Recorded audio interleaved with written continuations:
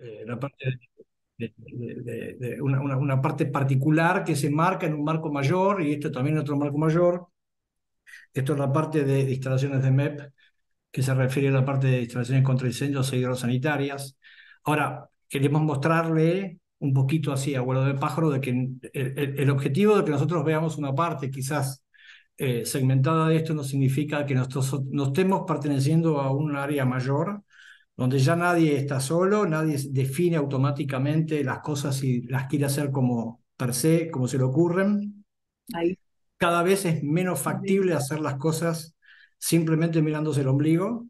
Eh, todas las eh, definiciones empiezan a ser mucho más universales, empiezan a realmente a gestarse un proceso de verificación, porque nosotros estamos en un mundo que que, maneja la simultaneidad de procesos, la sinergia entre las personas y la colaboración. Fundamentalmente es eso.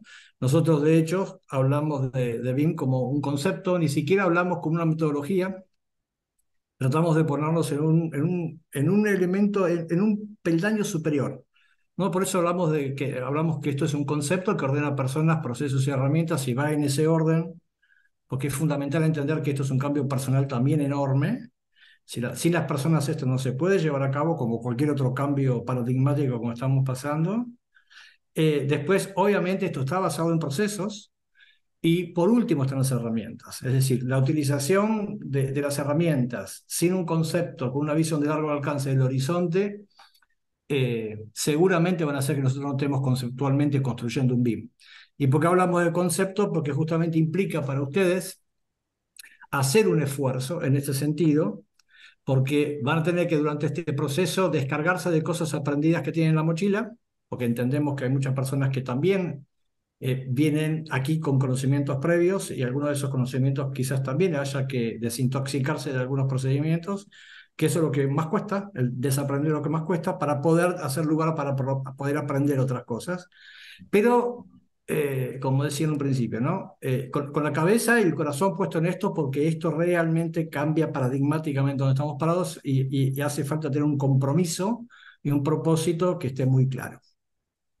Eh, yo le voy a compartir algunas cositas como que para que simplemente nosotros podamos ilustrar un poco lo, lo, que decimos. y cuando hablamos de, em, a ver, cuando hablamos de BIM, Em, aparecen estas cosas, ¿no? Eh, comentame, Angie, si se ve la pantalla. Sí, ahí te, vemos perfecto. Eh, hablan, gracias, Angie. Hablan de BIM y aparecen estas cuestiones, ¿no? Un montón de edificios que cuanto más grandes y complicados y de más metros y más instalaciones tenga, parece que habláramos mejor del tema de BIM, ¿no? Por ejemplo, aparecen edificios de por ahí de estos tipos que son edificios que tienen mucha información, que son transitados por mucha gente. Esto es un banco. Eh, esto particularmente es una obra del arquitecto César Pelli acá en Buenos Aires y tiene, fíjense la cantidad de información que esto tiene, ¿no? Y, eh, y realmente eh, ah, este, este, esto, esto se diseñó, se proyectó, se construyó y se está ejecutando el mantenimiento y operación con estos modelos que nosotros hicimos de los planos originales de CAD. Pero tampoco podríamos decir de que esto es un modelo BIM simplemente mirándolo así, ¿no? Y esto, digamos, hay muchísima información y empieza a, tratar de entenderse lo que ustedes van a generar de una forma secuenciada que ahora después en un ratito vamos a mostrar qué, pretendemos nosotros que aparte de manejar la herramienta entienden el, concepto que la sostiene, por eso estamos hablando de temas conceptuales, y de nuevo, ¿no? Otros, otros edificios enormes, esto que está acá es una terminal aeroportuaria, esta es la parte de ingeniería, solamente la parte de ingeniería y hay muchísima información simplemente manejando la ingeniería. Le, sacamos la arquitectura y la estructura, que también están por allí, digamos, modeladas y simplemente si vemos la cantidad de información y la cantidad de trabajo que se tuvo que hacer. Y si vemos un poquito entre bambalinas, todo lo que esto sirvió para que se coordine este proyecto y cuando se lleva a buen puerto, eh, no solamente estén los planos ejecutados, sino que paralelamente esté toda la parte de cómputos, eh, todo el trabajo de interferencias, eh, los trabajos de coordinación enormes entre eh, ingenierías inclusive que son de diferente índole, como la que está acá, que es una ingeniería de, digamos, de transporte de maletas que entra en un edificio que está lleno de, digamos, de otro tipo, de otros tantos, este, digamos, ingenierías. Si vemos el edificio acá completo, vamos a ver que hay eh, muchísima información de instalaciones mecánicas, eh, eh, sanitarias, o sea, hidrosanitarias, contra, instalaciones contra incendios, pero todo lo que es la parte de arquitecturas, mobiliario, y, digamos, y, todo esto obviamente atrás que tiene muchísima información de metadata, que es la información complementaria, lo que simplemente vemos geométricamente, o sea, hay un mundo por detrás en cada uno de esos pequeños elementitos que ven hay una enorme cantidad de informaciones. Eh, si vemos otro edificio, este edificio que está acá es un edificio de readecuación, este es un banco que está en Santa Cruz de la Sierra, en, en Bolivia, es un edificio existente que compraron los, los terrenos aledaños y se hizo toda una readecuación. Y de nuevo, también, eh, este, este edificio, por ejemplo, se hizo en plena pandemia, en plena pandemia con ingenierías que estaban en diferentes lugares del mundo y se llevó a cabo y se está ejecutando sin problemas y esto también, ¿no? Si, si solamente miramos el tema solamente las ingenierías, que es un poco lo que nos compete acá, también vemos que hay muchísimos cañitos, elementos, válvulas, elementos de control, bandejas, este, piezas de piping, etcétera, etcétera, que se están cruzando por todos lados. Y de nuevo, hablamos y decimos que esto que está acá es un BIM y no, no, no es tan, tan así. Y los quiero ir sacando un poco, sacando un poco la, la grandilocuencia y la cosa. Esto que está acá es un, es un aeropuerto, un aeropuerto de una zona argentina que es una zona sísmica. Y de nuevo, ¿por, ¿por qué hacer las cosas? Vamos a detenernos un poquitito en, en, los conceptos de ¿por, qué el mundo nos está llevando a esto? Porque dibujamos cañitos en 3D y porque resulta más simpático que dibujarlos en 2D estos cañitos que hacemos en 3D sirve solamente para la instancia de, de, modelar esto, pero en realidad toda la documentación va por otro lado y lo que resulta es que tenemos en realidad lo que habla son los planos de CAD. Lo que nosotros hacemos está cayendo en las coordenadas geográficas donde tiene que caer, porque esto está en un lugar en el planeta y necesita ubicarse en ese lugar. No cae en ningún lado. Tiene información que realmente sustenta los procesos que necesitamos seguir no solo para la parte documental, sino para la instancia de construcción y después de mantenimiento y operación. ¿Están pensando todas esas cosas acá? ¿Es simplemente un hecho romántico el hecho de dibujar cositas en 3D?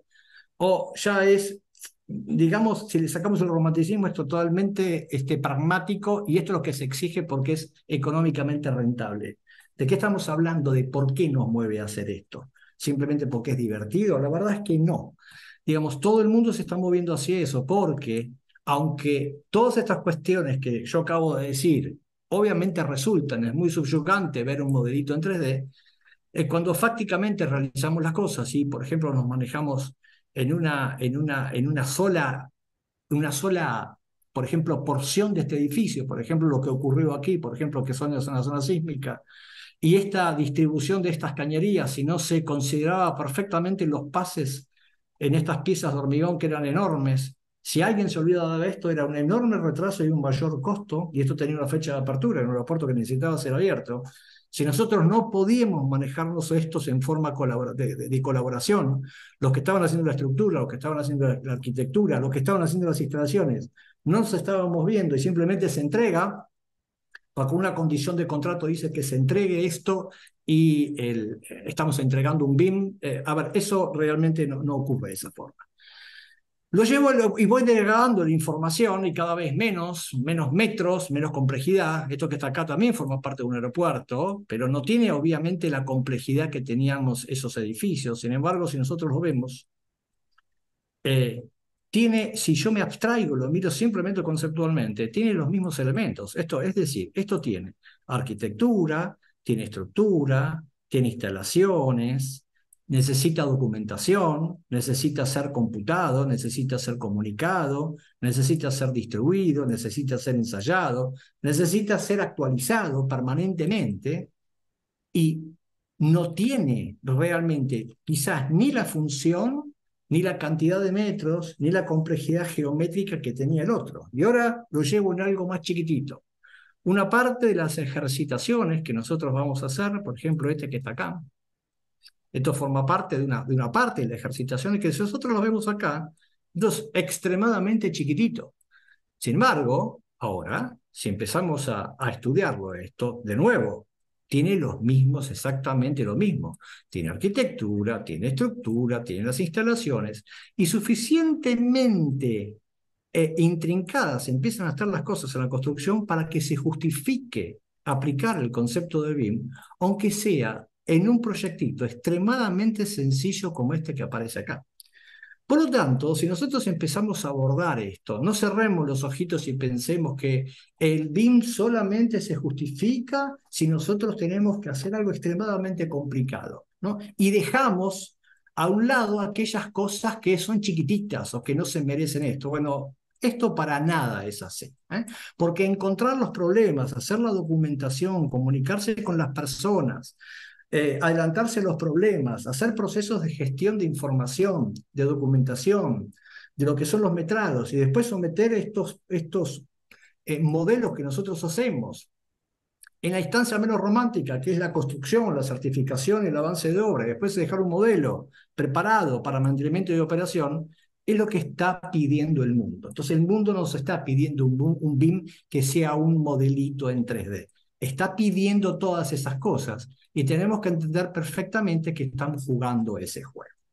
Por lo tanto, ¿cómo se construyen estos modelos que nosotros tenemos acá? Se construyen con estas vigas, con estas paredes, con estas bases, con estos cañitos, con estos elementos, con estos plafones, eh, con estas luminarias. Ah, la, verdad que no. ¿Cómo se construye un elemento, un conceptualmente un BIM?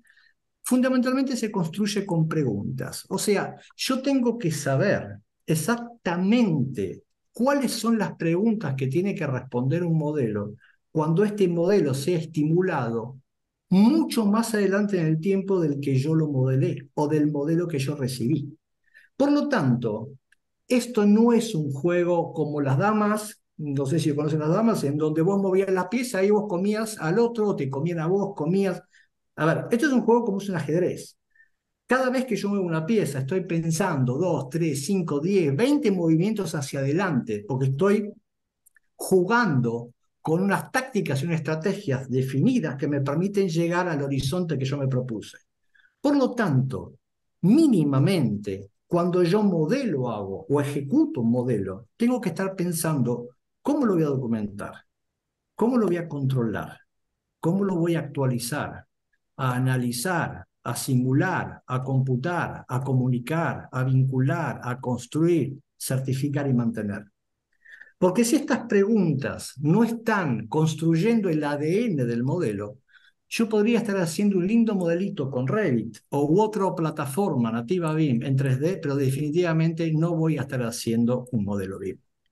Por eso es que nosotros los vamos a invitar a llegar a este lugar, obviamente con una fuerte carga de conocimiento herramental, cómo es que se manejan las plataformas, cómo se crean los sistemas, cómo se crean las piezas, cómo se comunican, cómo se enlazan, cómo se documentan, cómo se computan, pero siempre, siempre, siempre con una visión puesta muy en el horizonte, porque nosotros tenemos que construir hoy cosas que tienen que responder el día de la mañana, y eso es finalmente lo que constituye realmente subirse al concepto BIM. Por eso es que lo ponemos en un nivel conceptual y lo definimos de esa manera. Entonces, cuando nosotros analicemos unos modelos BIM, estos modelos no van a estar atados jamás ni a una plataforma, ni a un... Cuando estoy hablando de plataforma, estoy hablando de un programa. Este es un modelo que ahora lo estamos visualizando. Acá, efectivamente, en una, en una plataforma que es, una, es un visualizador que en algunos casos puede tener hasta un criterio eh, inclusive gratuito. Esto es Navisworks.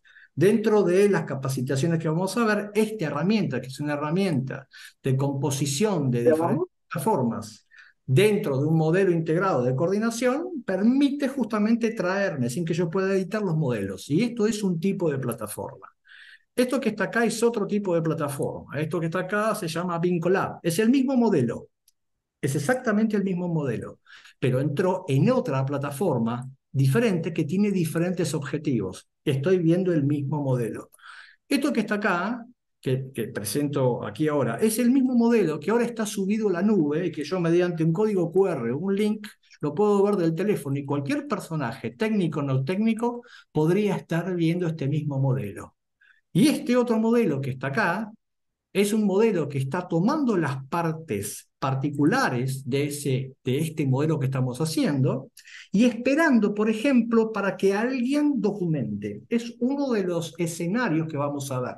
Nosotros hablamos de un, de un escenario, de un proceso que se llama, que defiende lo que es la división de la matriz de producción. ¿Qué significa esto?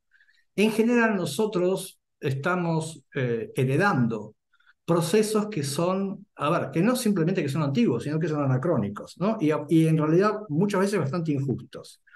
¿A qué me refiero? En la mayoría de las latitudes, la persona que diseña es la misma persona que hace el cómputo, la misma persona que hace la documentación y la misma persona que hace el delivery de la entrega. Es decir, un proyecto nosotros entendemos que no hay una diferencia entre hacer el proyecto y entregar el proyecto porque ambas cosas son inescindibles. Yo tengo que hacer el proyecto, tengo que documentar el proyecto para que el proyecto realmente pueda ser entregado. No existe una cosa sin la otra. Ahora, cuando nosotros buscamos perfiles eh, para definición de proyectos, eh, que puede ser de ingeniería, de arquitectos, de especialistas, etc., eh, esos perfiles cuestan muchos años y mucha experiencia desarrollarlos.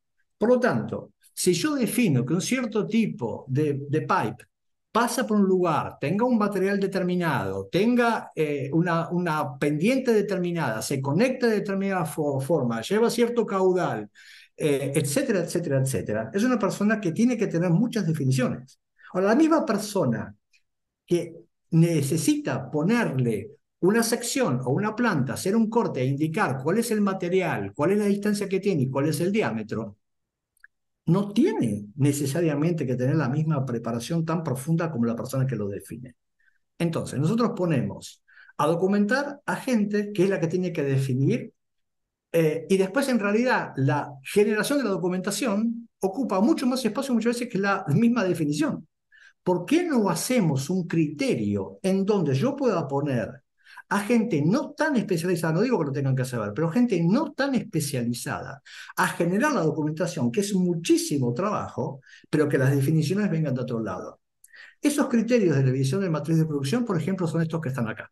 Este elemento que está acá, y van a escuchar hablar muchas veces a nosotros durante el desarrollo de todas eh, estos, digamos, no solamente los contenidos, sino los, digamos, las reuniones que tengamos sincrónicas, van a ver que nosotros hablamos de los másteres. Los másteres son grandes traccionadores. En un, en un aspecto, en un punto, está el, modelo que alguien está definiendo. Y esto está permanente, o sea, totalmente ejecutado.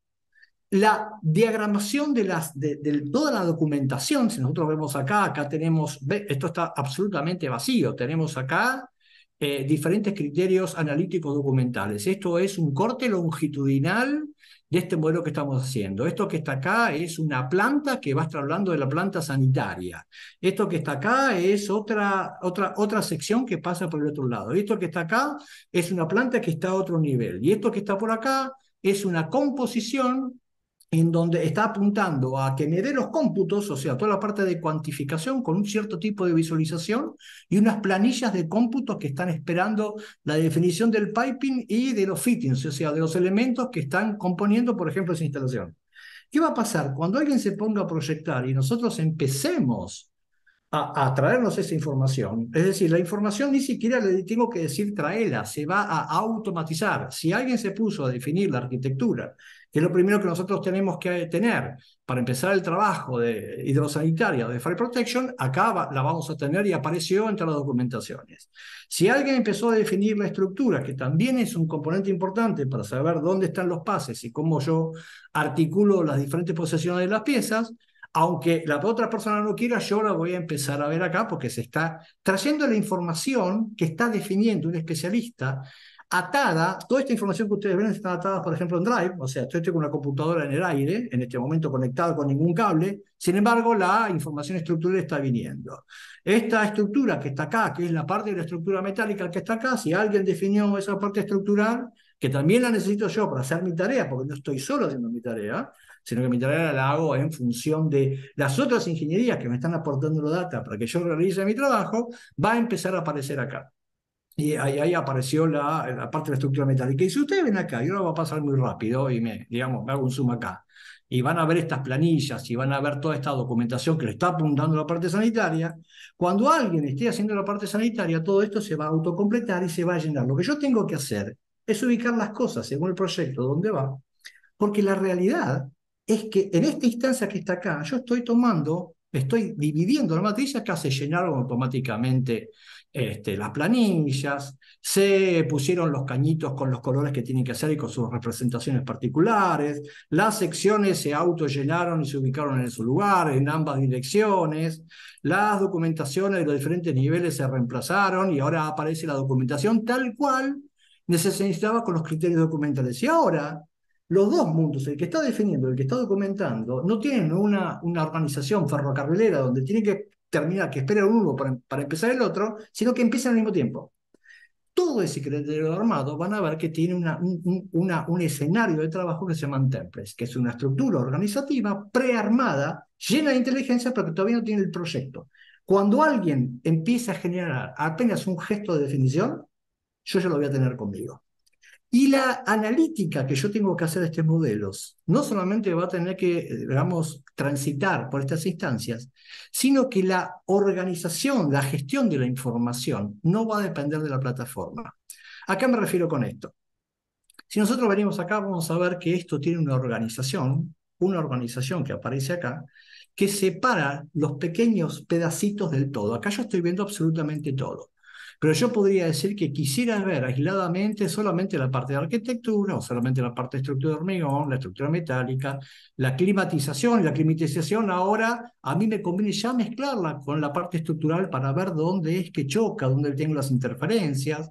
La parte sanitaria, que ahí me, me está contando que esto está pasando por, estos, por estas posiciones, inclusive yo voy a tener que dejar pases en algunos lugares justamente y tengo que prever porque si no la losa eh, se va a comer ese caño, la parte de fire protection y si no toda la parte de estructuras con toda la parte de instalaciones que me permite a mí empezar a visualizar, no solamente a mí, porque no van a estar solos, sino a todas las ingenierías concurrentes que de alguna forma van a condicionar la definición de mi proyecto. Y yo voy a tener que ver con mucho criterio dónde es que esto se va a chocar, dónde esto va a tener que pasar, cómo le doy servicio a todos los elementos que tengo que tener servicio y de esta forma empezar a trabajar en forma colaborativa, realmente colaborativa. Ahora, si yo me cambio de plataforma y me voy a la nube, esto que está acá ahora es la nube, esto es Internet, ¿Cómo hago para que una persona normal, sin conocimientos de Revit, pueda usufructuar de la mismo tipo de información, porque la organización sigue siendo la misma. A mí me interesaba ver la parte estructural, simplemente podría aislar los diferentes niveles como aparecían acá, sumarle, por ejemplo, la arquitectura, la em, parte, parte de la estructura que, eh, digamos, eh, que lo complementa, podría sumar la parte de la arquitectura o podría ver simplemente la parte estructural de las fundaciones con la parte sanitaria porque me interesaba saber por dónde estaban pasando esta instalación y lo estoy haciendo con un simple clic. Y ahora si yo me cambio de plataforma y voy a la otra, como dijimos, esta que se llama, por ejemplo, Vincolab, puedo hacer exactamente lo mismo porque yo puedo ir separando una parte del todo. Puedo tener simplemente la parte eh, sanitaria para que suele simplemente ver los elementos sanitarios y mezclarlo con la parte que me compete, ver, por ejemplo, la parte estructural, porque me interesaba este, complementarla de esta forma. No va a depender de la plataforma, va a depender de la estructuración de los datos, de la forma en que yo organice, de la forma en que yo distribuya esta información, para que pueda realmente empezar a generar lo que son los modelos BIM. Así que Ah, lo que vamos a estar haciendo es un juego mucho más profundo, un juego mucho más de horizonte lejano, un juego mucho más comprometido, que el simple hecho de entender que con herramientas superpoderosas estamos haciendo modelitos que pueden resultar simpáticos. Eh, Me parece eh, que, eh, interesante que empecemos a transitar por esas distancias.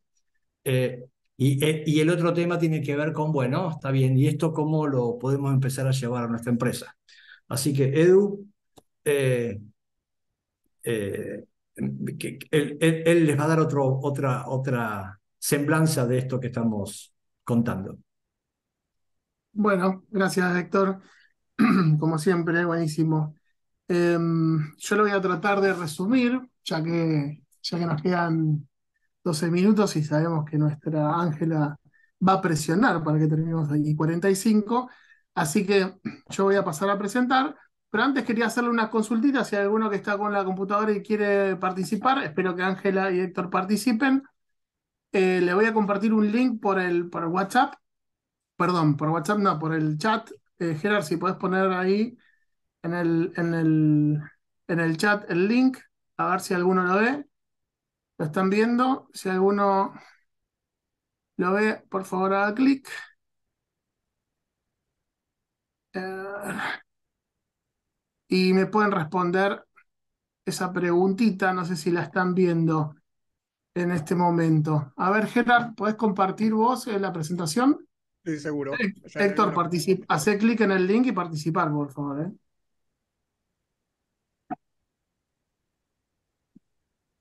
Me dicen si ya se está viendo.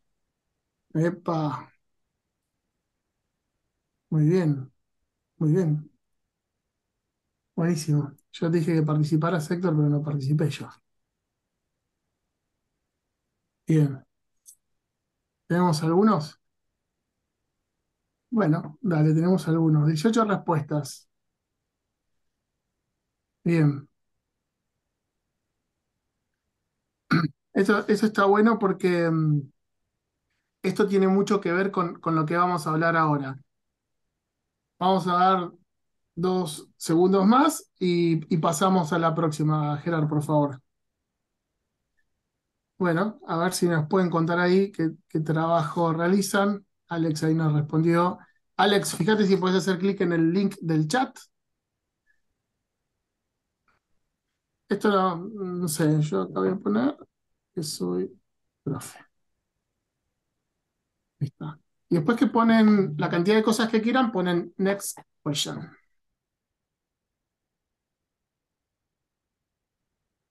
Calculista, implementación BIM, tenemos implementación. Bienvenidos. Hay eléctricos. Ah, fuiste vos. Bombero aeronáutico. Uy, con ese que quiero hablar. A Connector nos encantan los aviones. Mira, ahí tenés un montón, la verdad que hay un montón de... Buenísimo. Dibujante. Modelador piping, están poniendo. Bien, me gusta que están respondiendo un montón, ¿eh? Y bien diverso. Sí. Buenísimo. Vamos a esperar dos más y epa, un par más. A ver, vamos a la próxima, pero bien, bien, la, bien que estén respondiendo, eso me gusta, me encanta. Hidráulico, tenemos hidráulico. ¿Escucharon hablar de BIM? Yo voy a poner, yo creo que sí. Eh, bien, esto aunque ustedes no lo crean, em, hace algunos años atrás ah, eh, teníamos que mentir en, el, en, la convocatoria y poner eh, algo como representación arquitectónica o como documentación ejecutiva o lo que sea, porque la gente no sabía que era BIM. Entonces, bien, tenemos un no, que es importante, espero que no sea ni Héctor ni, Ángela, pero bien, tenemos, tenemos muchos que sí, sabemos de qué estamos hablando. Vamos al siguiente, Gerard, por favor. ¿Cómo definen BIM? Héctor ya les sopló que pensábamos nosotros, así que un concepto Proceso, muy bien. Muy bien. Es una herramienta. Bien. Uno. Es una herramienta, es un protocolo. Bien. Pero tenemos muchos que hablan de proceso. Y eso está, para nosotros, eh, si bien no es justamente lo que pensamos, eh, nos parece que están, están cerquita. Y bueno, por ahí la explicación que dio Héctor y por ahí lo que voy a terminar explicando yo, terminan de definir este, eh, eh, este, esta forma de entender BIM. ¿Y por qué estoy haciendo estas preguntas? Porque para una implementación es importante, importante poder ubicar en cada una de las cajitas cada uno de, mm, sí, de los procesos que vamos a tener, de las herramientas que vamos a usar. Y acuérdense, personas, procesos y herramientas. Para nosotros un, BIM era un concepto que ordenaba personas, procesos y herramientas. Así que, pero proceso es una buena respuesta. Vamos con la otra, Gerard. ¿Alguna vez pensó en implementar BIM? A ver, ¿qué nos ponen acá? Bueno, muy bien. ¿Alguna vez? Bien. Se ve que tenemos, tenemos público para, para implementar. Dos, no, siempre. Muy bien.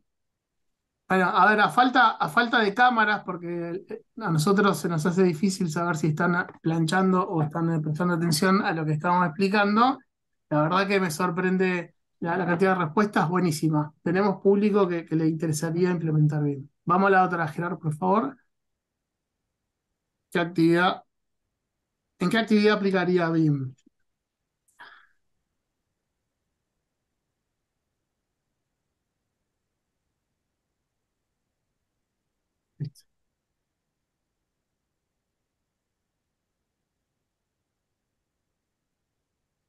Bueno, ahí tenés la segmentación. Interesante eh, también de territorio, ¿no? Una visión interesante. Instalaciones suman ahí abajo. Bien. Pa- pasamos a la otra, Gerard. ¿Cuáles cree que son las razones por las cuales no se implementa BIM? Chan, chan. Vamos a poner alguna.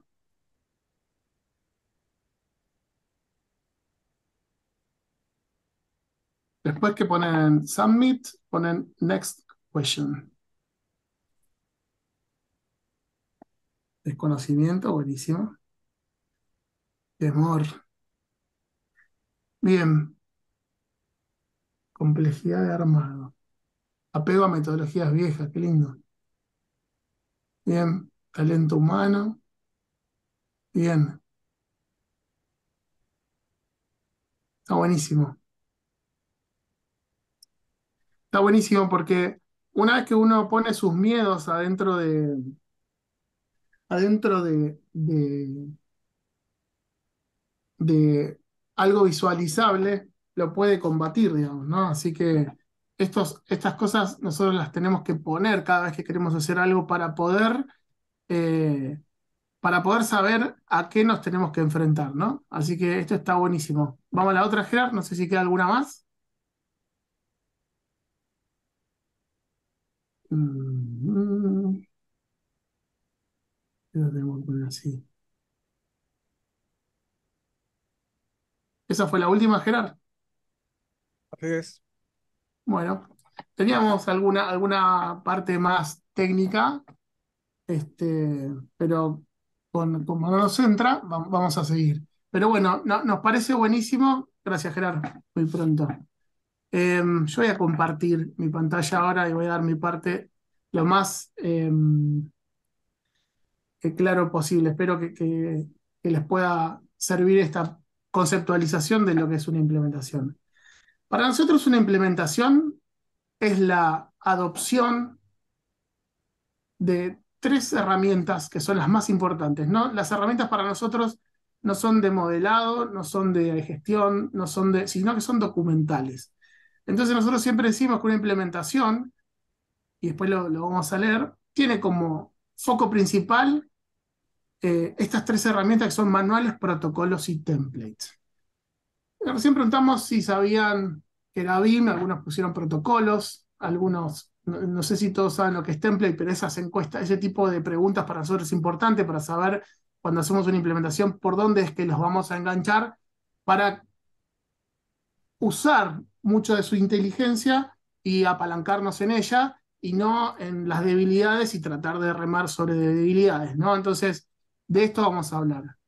Cuando nosotros hablamos de documentación de procesos, y ahora sí hablamos de documentación de procesos, no estamos hablando de BIM, lo que queremos decir es que para llegar del punto A al punto B, tenemos una secuencia de hitos y de, y de tareas o de, mm, em, no sé, o de nodos que nuestra empresa, por la antigüedad, por las generaciones anteriores o por la capacitación que han recibido en centros o en universidades, centros educativos o, cualquier centro que haya eh, o la misma obra o la misma experiencia, la misma, em, el mismo ejercicio profesional, bueno, uno, aunque no lo tenga documentado o escrito, sabe que tiene una línea para llegar del punto A al punto B lleno de, esas, eh, de esos nodos.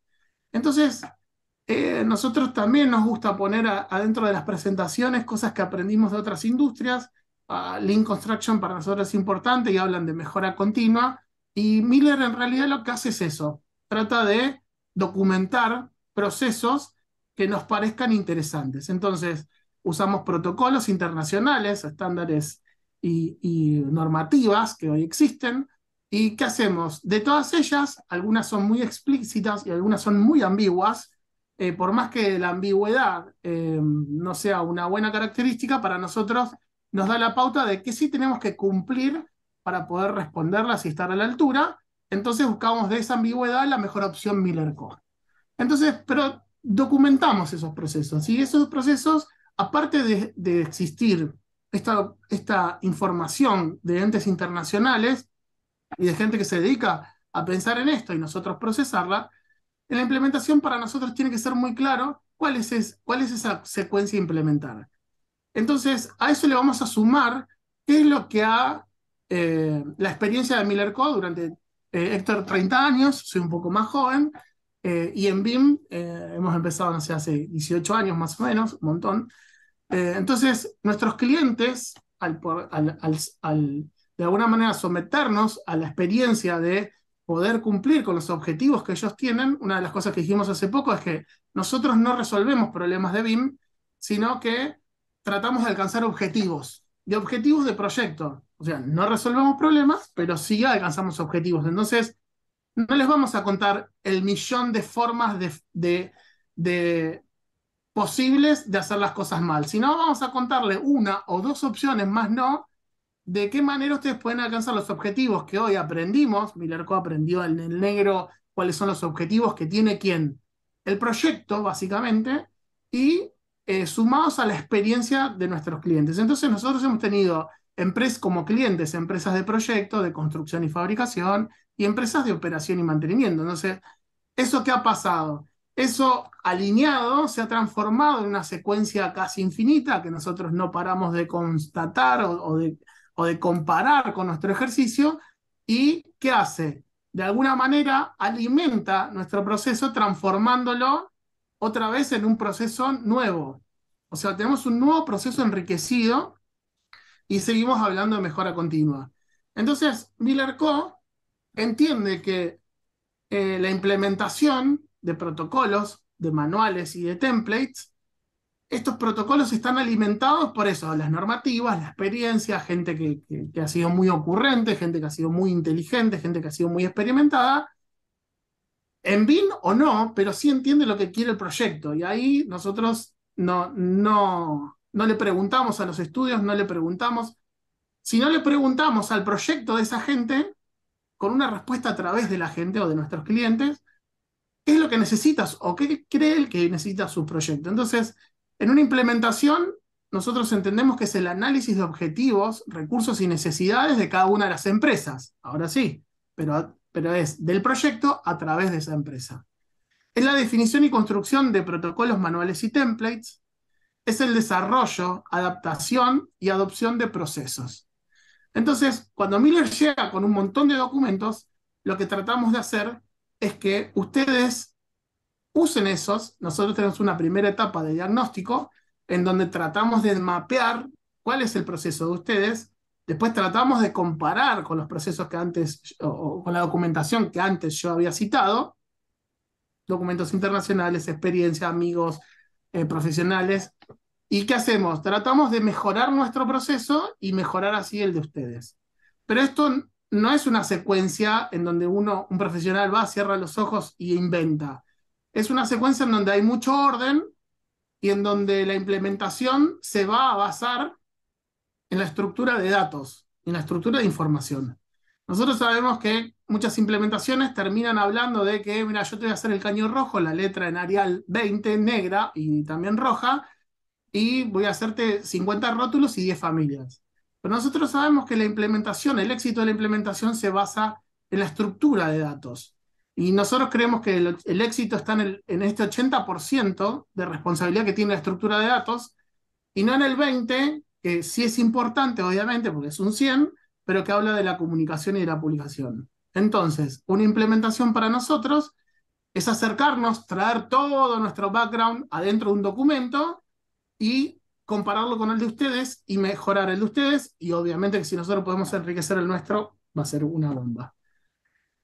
Cuando nosotros preguntamos de dónde eran, lo preguntábamos por la siguiente cuestión. Sabemos que, bueno, em, muchas veces estamos en un país con una normativa, con una, em, con, con, una, con un protocolo nacional o internacional, pero aplicado en ese país. Y lo que nosotros decimos es que ustedes podrían producir ingenierías para el resto del mundo, estén donde estén, y producir siempre de la misma manera, siempre una única forma, exceptuando estas cuatro cosas que son la recomendación que en esta presentación me dejo hacer, ya estoy cuatro minutos atrasado, que son, eh, teniendo en cuenta las unidades, el lenguaje, porque podríamos trabajar para China, pero no vamos a poner 20 modeladores chinos, sino que vamos a poner 20 modeladores de nuestra misma región, o remotos, el que les guste, y una persona que lo traduzca al final. Después el tema de normativas, que para ustedes sin, duda va a ser muy importante, y eso lo tenemos que adecuar, pero no en el ejercicio de modelado, sino en el ejercicio de, de documentación.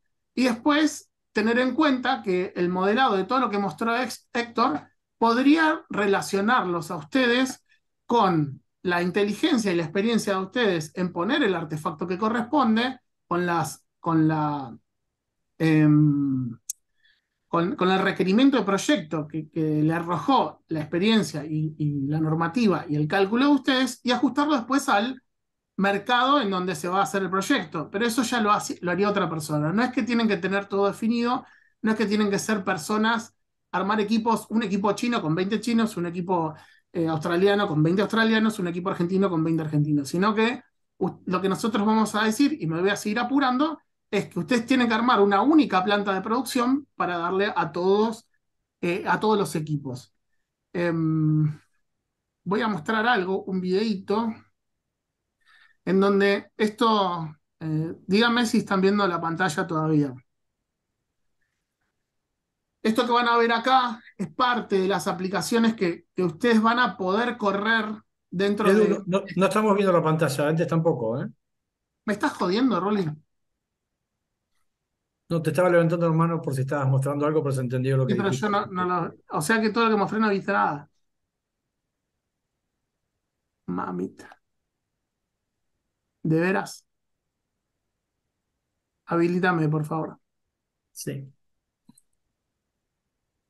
Con razón.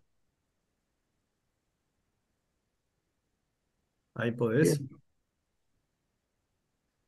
Este es el video le voy a mostrar solamente el grafiquito anterior. Esto para que lo vean es algo eh, en donde se va, van a ver aplicado todo lo, todo lo que mostró Héctor recién. Em, y yo le voy a mostrar algunas de las diapos que, que había preparado para ustedes, en donde ustedes van a poder ver cómo sus instalaciones, de alguna manera, no solamente van a servir para la representación anterior, sino que esto va a configurar parte de la documentación, hablamos de, diseño, hablamos de construcción y hablamos de operación, cómo es que el día de mañana ustedes van a ver eh, esta secuencia constructiva. Eh, estas son herramientas en las que hoy abundan en el mercado, que obviamente podemos ayudar a implementar, en donde yo voy a compilar en el tiempo eh, el estado de mi obra, y ahí ven todo el MEP expuesto, eh, ese MEP va a estar no solamente georreferenciado, sino que va a guardar semana a semana cada uno de, de las eh, actualizaciones y yo voy a poder verificar no solamente ahora, sino dentro de 10 o 20 años dónde quedó mi artefacto colocado o mi elemento colocado y compararlos.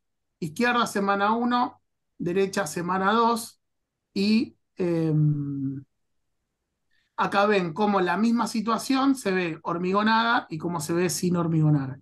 Entonces, todas estas herramientas, y ahora va a comparar el proyecto contra la realidad, fíjense que acá están hablando del, mismo proyecto diseñado contra este, una foto de cómo quedó terminado.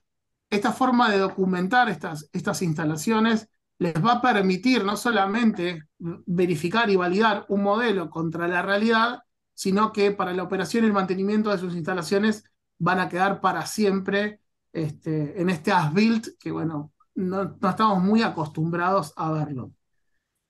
Entonces, este tipo de herramientas eh, supera la, parte de diseño, pero nuestra fabricación, en nuestra colocación o construcción, genera un montón de beneficios para la línea completa, la que habíamos hablado en un momento, yo voy a verlo para atrás porque no se van a ir si ven los slides que, recién acabo de contar, aunque lo van a ver un poquito más rápido. Y lo que hacen es, esto es gestión, gestión de, de, la información. Eso que fue diseñado, proyectado, cotizado, que fue de alguna manera colocado. Voy a volver a mi slide. Fíjense todo lo que mostré mientras estaba... Ve que por lo menos me escucharon. Voy a repetir esta parte. Esto era lo que estaba hablando, estaba yo solo mirando, así que bueno, yo como loco ya lo conozco, este, me divertía igual, pero bueno. Esto es lo que le hablaba de la documentación de procesos y de la mejora continua. Esta es la línea de los nodos y las barras que le había mencionado recién. Eh, esto que van em, de alguna manera eh, siendo extraídos esta información que, va siendo extraída de, estos, de estas fuentes, protocolos, estándares y normativas, eh, es de alguna manera lo que se agrega a la experiencia en nuestros clientes, que son clientes de proyecto, de construcción, de fabricación, de operación, los que nos van enseñando de alguna manera cuál es su punto de vista o cuáles son cosas que nosotros no entendemos porque estamos en otro país y que al finalmente eh, se retroalimentan y, se nutren, ¿no? Entonces, estos nuevos, em, eh, estos nuevos procesos eh, son enriquecidos, hay una mejora continua del, mismo, y lo que nosotros logramos es que nuestra fase documental siempre sea mejor. esto esto no quiere decir que no se pueda mover algo y, mejorar o desaparecer un nodo, ¿no? Enriquecer es eh, que, vamos a hacer lo imposible para estar del lado del proyecto y, poder satisfacer esas necesidades. Esto es lo que expliqué, una implementación es el análisis de objetivos, recursos y necesidades, definición y construcción de protocolos, manuales y templates, desarrollo, adaptación y adopción de procesos. Esto es lo que expliqué la estructura, esto es lo que les hablé recién de la construcción de ese equipo. Y para nosotros, el esquema de formación incremental empiezan con modeladores en arquitectura y en MEP. Eso tiene que ver cuál es el perfil de su empresa, con coordinaciones, con BIM Manager que puedan defender estos manuales y protocolos, por una implementación que pueda acelerar esos procesos de, de adopción y bueno, con una transformación digital de, todo, eh, de toda la empresa, ¿no? Bueno, estas estructuras eh, las voy a saltear, porque ahora sí no tengo tiempo, y voy a pasar a algo que, mm, para nosotros es una implementación. Una implementación, como les lo mostré recién, es una pila de documentos en la cual se ven reflejados eh, todos todos estos procesos que tenemos que revisar desde los hitos del diagnóstico hasta planes de trabajo que se van a organizar en tiempos, estos tiempos tienen que estar definidos, no pueden llevar 10 años, y son la base para que ustedes eh, de alguna manera elijan el personal que, que, va a estar asignado a esa implementación y podamos lograr eh, generar este conocimiento sin pérdida de tiempo y una vez que esos planes de trabajo fueron de alguna manera eh, aceptados y adoptados, bueno, seguir con información. Acá hay trazabilidad, tenemos gente que hace cursos y se capacita, tenemos gente que estudia procesos, eh, tenemos diagnósticos que nos dan no de estas cuatro o cinco personas que elegimos para las implementaciones, sino para toda la empresa. Esto como hicieron ustedes la encuesta y nosotros veíamos acá de qué país eran y dónde venían, hojas y hojas y hojas que debieran ser llenadas con el perfil de su empresa. Y voy más abajo a mostrarle cuál es el perfil que tiene un diagnóstico igual a la encuesta que hicieron recién, pero que dice, mira, eh, vamos a tener en los procesos que fueron relevados, análisis del plan de integración BIM existente, protocolo, BIM Protocol Definition, con ver qué, qué, qué hitos o qué tareas tienen de alguna manera eh, poco o mucho, eh, mucha capacidad de mejora. Entonces, estos informes, que obviamente van a cambiar con las empresas, pero de base estructural tienen experiencia Miller Co y tienen em, experiencia de los otros documentos internacionales, se basa del conocimiento de entender qué empresa es la que estamos implementando. Entonces el diagnóstico es igual para todos, o sea, obviamente que de acuerdo a la herramienta y de acuerdo al objetivo. Nosotros decimos, estos, estos que están viendo acá son de implementaciones reales, en donde no se puede andar analizando 85 personas en simultáneo, a menos que las podamos evaluar. Y esto, esto nos arroja, de alguna manera, una síntesis de por qué hoy no están implementando. Porque muchos dicen que sí quieren, pero no pueden. Muchos dicen que sí pueden, pero en realidad no tienen tiempo. Tienen la capacidad, pero no tienen el tiempo porque tienen muchos proyectos. Y en pocas palabras, lo que, lo que nos empieza a pasar es que, em, es que lo que tenemos que tener en claro es eh, que una implementación tiene que estar eh, directamente relacionada los objetivos con el esfuerzo que se tiene que hacer. Si, si, hay, si hay discrepancia en estos dos, eh, uno tiene muchas ganas, pero no puede dedicarle tiempo, bueno, eso salta en el diagnóstico. Y nosotros decimos, si con este tiempo ustedes no pueden implementar, a menos que le podamos encontrar esa vuelta. Entonces, hoy una implementación le deja un set de documentos, que son todos estos que están acá, en los que hablamos estructura funcional de la BIM Manager Office. Eh, esto que está acá que se llama MIP3 es un manual de adopción, manuales de comunicación y los protocolos. Protocolos para las diferentes fases. adentro tienen un BIM Execution Plan, que son cosas que después vamos a explicar si, si seguimos, para, para no marearlos ahora, y, y todo tipo de manuales. Ustedes adoptan estos manuales en una implementación inicial y un template que va a ser una estructura de datos que va a estar esperando el proyecto o la geometría que ustedes quieran. Así que, perdón por el accidente de, la primera parte, pero eh, la idea es que hoy se lleven em, esto de una implementación. Una implementación no es una persona que llega y pregunta y después trata de em, entenderlos o interpretarlos a ustedes hay un conocimiento inicial que se compara con un diagnóstico de lo que está pasando dentro de su empresa y se trata de enriquecer ambos procesos. Esto em, es lo que da como resultado gente que tiene un objetivo y un plan para después poder alcanzar, medirlo y alcanzarlo, ¿no? Así que Ángel, te lo devuelvo 15 minutos tarde, perdón. No, está perfecto. Héctor Eduardo, muchísimas gracias por este compartir maravilloso. Muchachos, si les parece bien, respondemos unas tres preguntas que nos puedan dejar por el chat y dedicamos un tiempo a este espacio.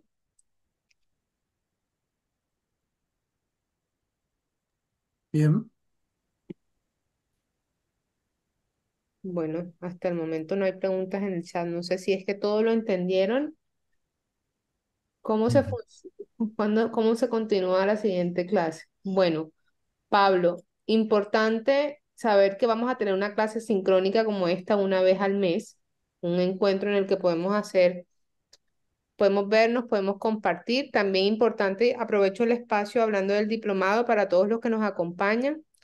Eh, aún continuamos con inscripciones abiertas, así que las personas que estén interesados en inscribirse al diplomado, no duden en solicitar la información. Igual se las haremos llegar a través de Pilar y nos pueden dejar también el comentario por el chat o nos escriben a WhatsApp y con gusto atenderemos cualquier requerimiento. Dani nos dice, normatividad BIM, ¿cómo los países pueden crear un marco legal para implementar BIM?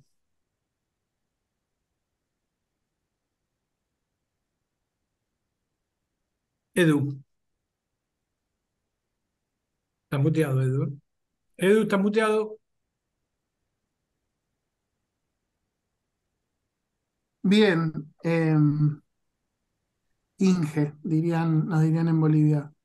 Em, es importante entender esto. Primero, eh, ponerse a estudiar ahora te garantiza que por ahí estudies cosas que ya no sirven o cosas que eh, te hagan perder mucho tiempo.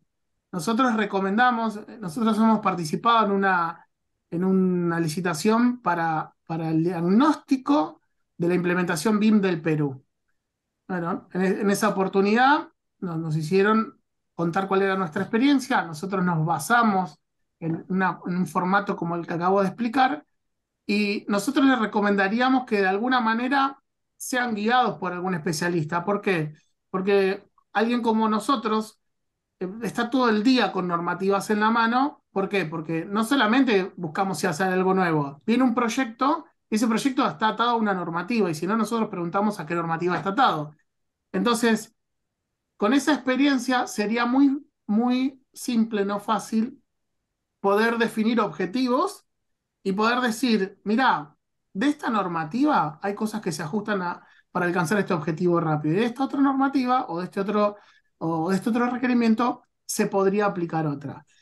Esto, en realidad, allana mucho el, tedioso camino que a veces es tan largo y que las gestiones son tan cortas que los países no logran eh, completar, de tener que poner equipos a estudiar, mientras ya hay un montón de cosas que sabemos que funcionan bien, hay un montón de cosas que sabemos que no funcionan, no voy a decir que funcionan mal, y ya sabemos que hay un montón de cosas em, que nos podría llevar mucho tiempo el estudiarlos y que no tiene sentido porque hay que alcanzar los, los objetivos planteados.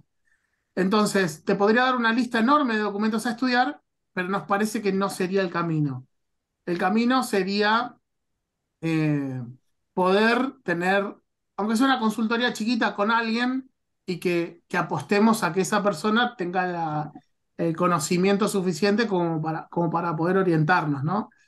Y si sabe y si implementó en otros países, que nos pueda contar cuáles fueron los problemas que tuvieron, ¿no? Nosotros eh, tenemos mucha experiencia implementando y, sabe, y sabemos, y nos han llamado muchos en la segunda vuelta, no nos contratan inicialmente porque no somos de su región, de su país, porque no hablamos su idioma o lo que sea, pero cuando vienen nuestras charlas y, se prenden fuego con alguna implementación porque se sobredimensionaron en algún aspecto, nosotros podemos ver cuál fue el planteo inicial y bueno, pasa de todo esto que te dije. Se ponen a estudiar de cero, em, se ponen a estudiar cosas que no sirven para esa normativa o para el objetivo, se ponen a hacer bibliotecas como para decir eh, algo genérico que siempre pasa y terminan fracasando. Entonces, las normas, lo, que mejor te podría recomendar a esa pregunta es que traten de hacer una ronda de, consultores o de alguien que quiera colaborar y que, primero hagan esa limpieza y que no estudien, porque hay mucho para estudiar y hay mucho que no está muy, del todo bien.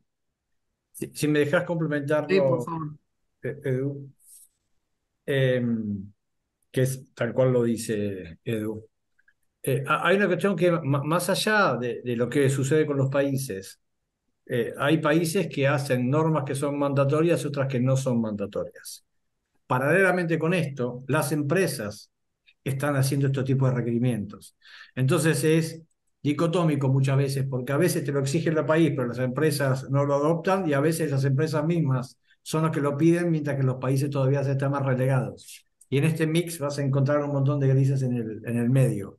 Así que, que está buenísimo que los países tiendan a definir estos, pero la actividad privada está fuertemente eh, eh, empujando este cambio, ¿no? O sea, más tarde o más temprano les va a llegar una exigencia BIM que puede tener más o menos alcance, ser más o menos pretenciosa, estar mejor o peor hecha, pero el, el, el tren arrancó y ya nadie lo puede parar. Ok, perfecto. Listo, señores. Muchísimas gracias. Muchísimas gracias por el espacio. A todos, muchísimas gracias por la asistencia a esta primera clase. Recuerden que seguimos con las inscripciones abiertas por un tiempo. Nos vemos en la próxima ocasión y no olviden continuar con sus clases muy juiciosos para que puedan terminar a tiempo y nos vemos durante estos seis meses continuos. Eduardo y Héctor, muchísimas gracias por el espacio. Gracias, Nos vemos Ángel. en la próxima ocasión y a todos los que nos acompañaron, muchísimas gracias. Muchas Gracias gracias. a todos. Buenas noches. Gracias, eh. Chao, chao.